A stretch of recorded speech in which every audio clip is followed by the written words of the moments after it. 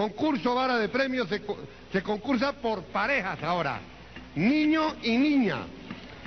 Si el niño sube la vara y gana la muñeca para la niña y un juguete articulado para el niño. Si no sube el niño la vara, se regala un juguete articulado intermundial a cada niño. O sea, cada niño con su madrina.